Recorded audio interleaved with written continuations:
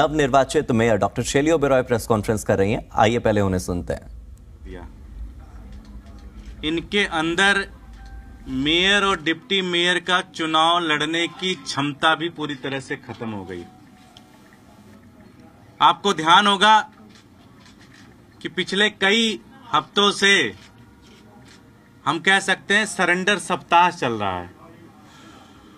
पीठासीन अधिकारी की नियुक्ति के ऊपर किस तरह से आज के दो महीने पहले भारतीय जनता पार्टी ने संविधान को ताक पे रखा, सारे नियमों को ताक पे रखा और पूरी तरह से एक गुंडागर्दी कर रहे लेकिन इस बार जब अरविंद केजरीवाल जी ने मुकेश गोयल जी का नाम पीठासीन अधिकारी के नाम पर भेजा तो वहाँ पर भी भारतीय जनता पार्टी और एलजी साहब ने सरेंडर कर दिया और इनका नाम अप्रूव कर दिया।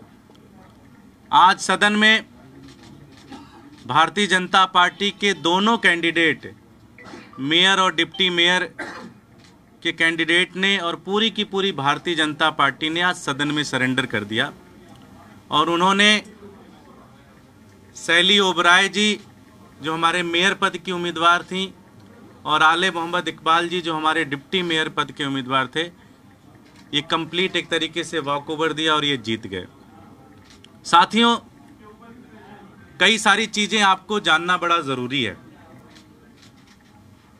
इस बार जब मेयर और डिप्टी मेयर का चुनाव हुआ तो भारतीय जनता पार्टी ने 18 तारीख को नॉमिनेशन किया।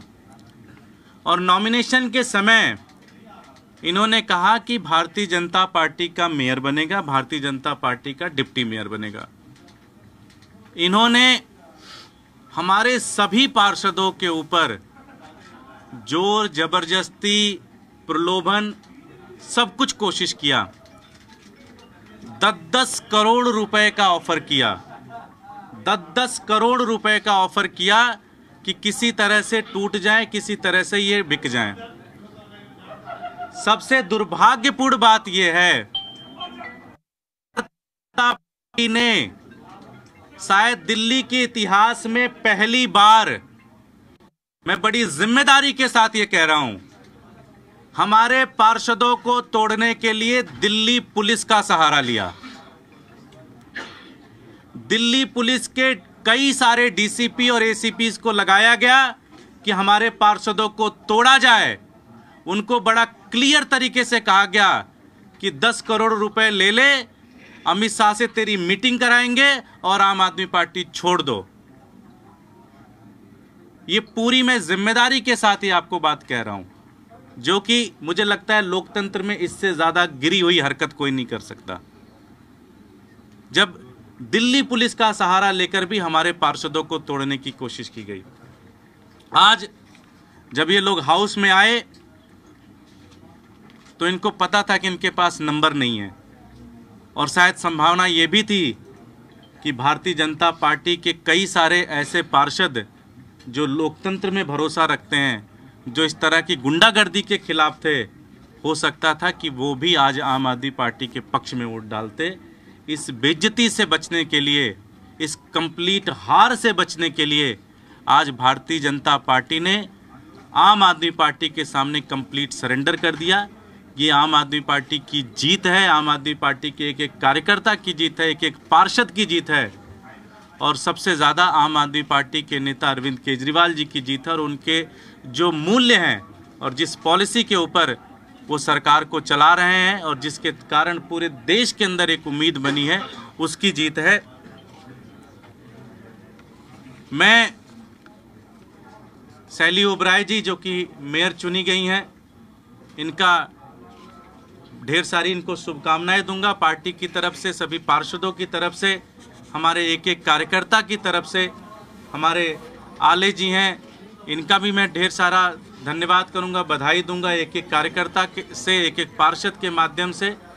और एक ही चीज़ कहना चाहूँगा कि आम आदमी पार्टी करोड़ों लोगों की उम्मीद से निकल के पार्टी बन के आई है। आज एक कार्यकर्ता के रूप में आपको ये हैसियत, ये ज़िम्मेदारी मिली है।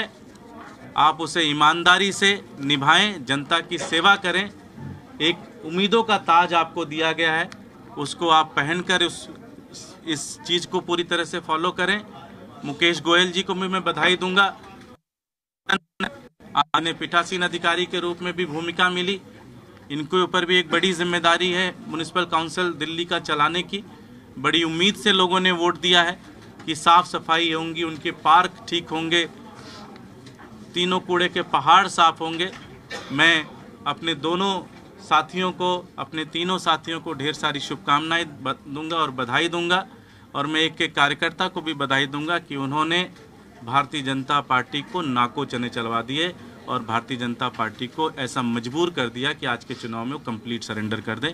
मोदी जी की भाजपा ने केजरीवाल जी की आम आदमी पार्टी के सामने कंप्लीट सरेंडर कर दिया। मैं हमारी नव निर्वाचित मेयर सैली ओबराय जी से कहूँगा कि वो दो शब्द कहें, आले जी से कहूँगा और मुकेश गोयल जी से कहूँगा दो शब्द कहें।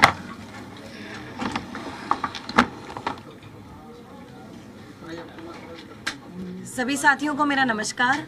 सबसे पहले मैं माननीय मुख्यमंत्री अरविंद केजरीवाल जी का धन्यवाद करना चाहूँगी कि दोबारा से उन्होंने मुझे आज मेयर कैंडिडेट नॉमिनेट किया था और साथ ही समस्त पार्षद जितने भी विधायक हैं नॉमिनेटेड विधायक, साथ में जितने भी सांसद, दिल्ली की जनता, सबका धन्यवाद करना चाहूँगी और सबका बहुत बहुत आभार व्यक्त करना चाहूँगी कि आज एक बार फिर से मुझे महापौर बनने का मौका दिया।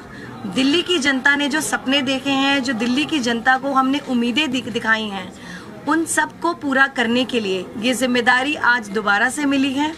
और साथ ही मैं आप सबको आश्वासन देती हूँ, दिल्ली की जनता को आश्वासन देती हूँ, माननीय मुख्यमंत्री अरविंद केजरीवाल जी को आश्वासन देती हूँ कि जो ज़िम्मेदारी आज फिर से दोबारा मिली है और जैसे अभी तक ईमानदारी से और साफ़ नीयत से मैं निगम के कामों को करती आई हूँ, वैसे ही नगर निगम के कामों को करती रहूँगी। साथ ही जो सपने हैं दिल्ली की जनता के, अच्छे स्कूल के अच्छे अस्पताल के, अच्छी सड़कों के, अच्छे पार्क के, कर्मचारियों के जी, जो भी मुद्दे हैं, उनकी तनख्वाह को लेकर, उनको रेगुलराइज करने को लेकर, उन सब मुद्दों पर हम ईमानदारी से माननीय मुख्यमंत्री अरविंद केजरीवाल जी की जो विजन है, उस पर हम पूरी निष्ठा से और ईमानदारी से हम सब मिलकर करेंगे। राजनीति से ऊपर उठकर निष्पक्ष तरीके से मैं आपको ये भी आश्वासन देती हूँ कि सदन को चलाएँगे। संविधानिक रूप से हम संविधान सदन को चलाएँगे और एक बार फिर से बहुत बहुत आप सबका आभार।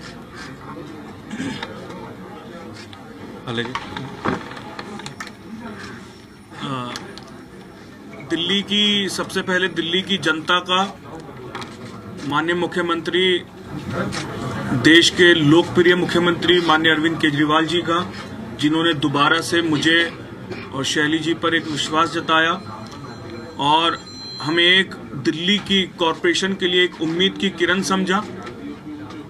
और मैं आपके माध्यम से साथियों, दिल्ली की जनता को ये विश्वास दिलाते हैं कि जो माननीय मुख्यमंत्री जी ने 10 गारंटीज जो वो गारंटीज हैं, जो दिल्ली की 10 जनता के ख्वाब हैं, उन सपनों को सच करना हमारे कंधों पे आने वाले अब एक साल के लिए ये ज़िम्मेदारी हम दोनों के माननीय मुख्यमंत्री जी ने हमें दी है।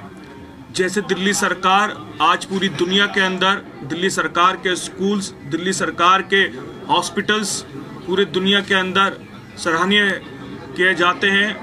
ऐसे ही अब नगर निगम को भी बहुत ज़रूरत है, क्योंकि आप सब भी दिल्ली वाले हैं।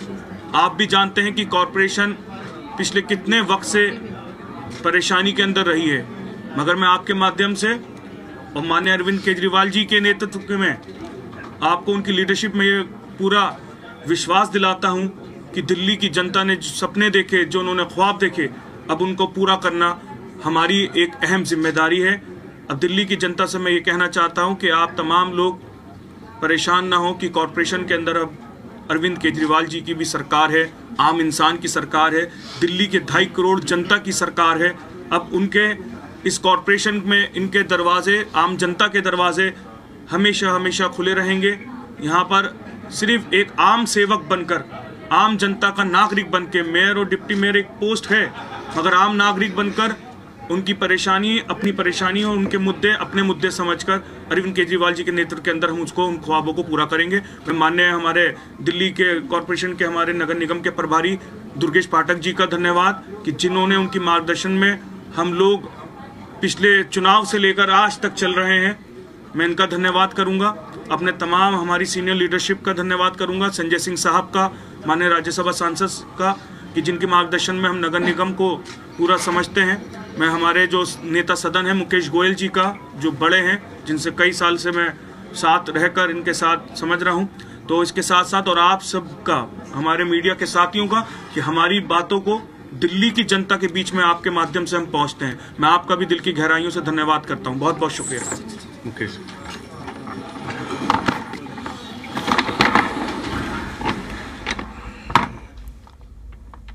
तो आपने आले मोहम्मद को सुना साथ ही आपने डॉक्टर शैली ओबरॉय को भी सुना।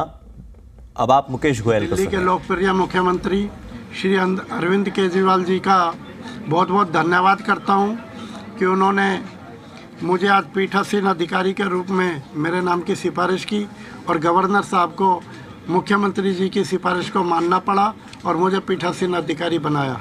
साथ ही साथ शैली अबराय जी को और आलिया मोहम्मद जी को दोबारा महापौर और उप महापौर के पद पे अपना, अपनी पार्टी का प्रत्याशी बनाया। और आज सदन के अंदर जिस प्रकार से भारतीय जनता पार्टी को, अपने कैंडिडेटों को नाम वापस दिलवाना पड़ा, उनकी उनकी मजबूरी थी, क्योंकि उन्हें पता था कि हमारी पार्टी के ही बहुत से पार्षद इधर उधर हो रहे हैं, जिसकी वजह से यदि संख्या बल के अंदर होते तो उनकी संख्या बल जितनी थी, उससे भी और नीचे आती। इसलिए उन्होंने नामांकन पत्र वापस लिया। लेकिन फिर भी हम उसका स्वागत करते हैं, और साथ ही साथ आशा करते हैं कि आगे भी भारतीय जनता पार्टी के लोग, उनके पार्षद, दिल्ली की जनता की समस्याओं को समझते हुए हम सब लोग दिल्ली की जनता की समस्याओं को सुलझाने के लिए यहाँ पर आए हैं। और भारतीय जनता पार्टी के पार्षदों का भी फ़र्ज़ बनता है कि वो राजनीति ना खेलें। वो दिल्ली की जनता की समस्याओं को दूर करने के लिए साथ दें। तो निश्चित तौर पर दिल्ली की समस्या में जिस प्रकार से महापौर के पद पर रहकर काम में काम किया, वो बहुत काबिल तारीफ़ है। इसी प्रकार से आले मोहम्मद जी ने भी जो पिछले लगभग 10-12 वर्षों से मेरे साथ है, उन्होंने भी बहुत अच्छा कार्य किया और इसके पीछे हमारी सारी, हमारे जो राष्ट्रीय हमारा जो नेतृत्व है, उसके अंदर चाहे केजरीवाल साहब हो, मैं संजय सिंह जी का भी बहुत बहुत धन्यवाद करूँगा कि उनका मार्गदर्शन हमें मिलता रहता है। और सबसे ज़्यादा जो मार्गदर्शन हमें मिलता है, चौबीस घंटे हमारे बीच में रहते हैं, हमारे दिल्ली के प्रभारी।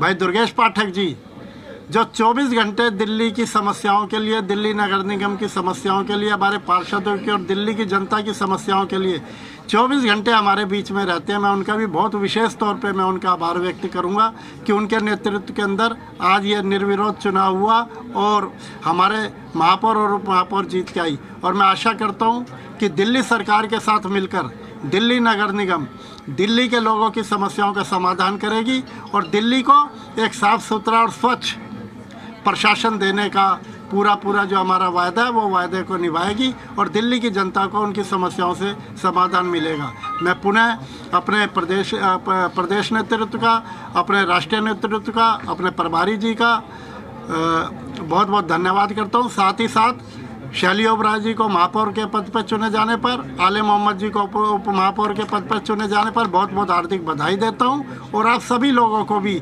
मीडिया के साथियों का भी बहुत बहुत धन्यवाद करता हूँ कि जिस प्रकार से आप हमारा पक्ष रखते हैं, उससे ही आप लोगों की ताकत से भी हमें ताकत मिलती है और ये लड़ाई जो आज हमने जीती है, ये आप लोगों के सहयोग के दम पे जीती है। धन्यवाद। कोई प्रश्न है?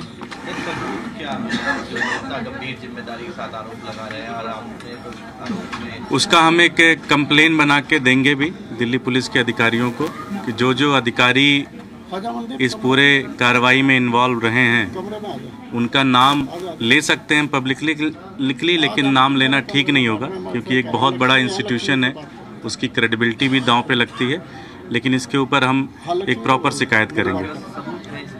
हम प्रॉपर शिकायत करेंगे उसमें अपनी सारी बात रखेंगे हम। दुर्गेश जी शिखला राय ने कहा है कि 2024 तक इस तरीके से आपके भाषण टूट रहे हैं तो संख्या बल के बाद जुट जाएगा अगले चुनाव में मेयर बन सके। तो इस बार नहीं जुटा ना? वो खुद ही मान रही हैं जो मैंने कहा। कि वो खुद ही कह रही हैं कि जिस तरह से वो तोड़ने की कोशिश कर रहे थे वो टूटा नहीं मामला इसलिए विड्रॉ कर ले गए। तो उन्होंने एक तरीके से जो मैं कह रहा हूँ उसको एक तरीके से मान लिया आपकी बातचीत में। और कोई प्रश्न?